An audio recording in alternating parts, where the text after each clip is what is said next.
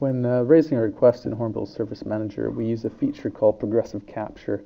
This is a series of forms that are presented to the user to capture things like the, uh, the user that you're going to log the, the request against, and other items such as adding in summary and description.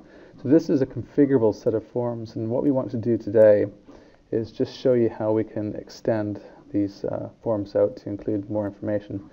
So following the adding of the description, I'm just going to click on Next and select a service and then click on Next again. And the final thing here is it uh, allows us to choose the request type and then finish.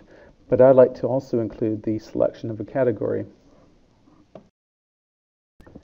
So I'm just going to switch over to the admin portal and then select the Service Manager application.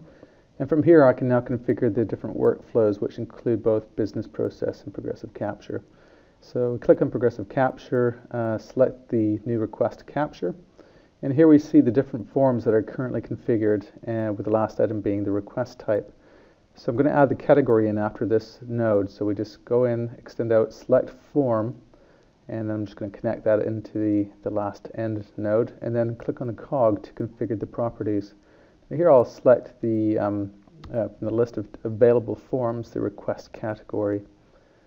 And just click away from that and then select Save and Activate. Now we switch back to the Hornbill client and raise a new request. And we're going to start with, again, selecting the customer, clicking Next, followed by entering in some summary information, and then we'll add a description as well.